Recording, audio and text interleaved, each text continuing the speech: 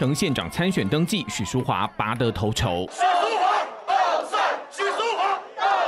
包括现任县长林明珍、立委马文君、为选战操盘的农会总干事曾明瑞，以及党籍县议员参选人们同场同框，陪同许淑华登记的阵仗之大，对乡亲谈政策、喊愿景。许淑华更直接瞄准对手展开攻势。我的父亲的背景呢，是因为他确实是一位更生人，他也付出了他应该有的代价。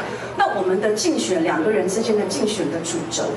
一定要把一位八十岁的老人所牵扯进来吗？曾担任过南投市民代表会主席许淑华的父亲许天颂也被起底有枪炮刀械前科。许淑华不满，每到选举，父亲的过往历史就会被人拿来消费。许淑华委员他想要用高龄的父亲来博取同情，这个我可以理解。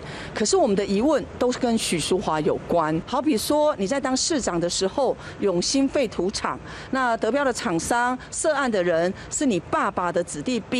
那为什么你不解释？单刀直入回应许淑华，蔡培慧人到了南投新义乡山区，没有因为距离远了炮火就变小，甚至对死刑执行与莱猪议题，两人再开战场，相互质疑。他的说法是说他完全的尊重法律，可是实际上现在的法律，台湾的法律就是有死刑，台湾的法律就是应该执行死刑。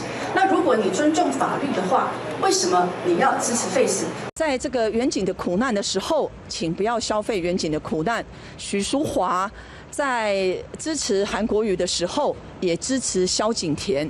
萧景田杀警，许淑华支持。许淑华，你应该要好好的解释清楚吧。南投县长选战，蓝绿女力对决，从议题立场到家族背景，就连八十岁的老父亲，也成为许淑华与蔡培慧两人角力的攻防话题。真的是有南投综合报道。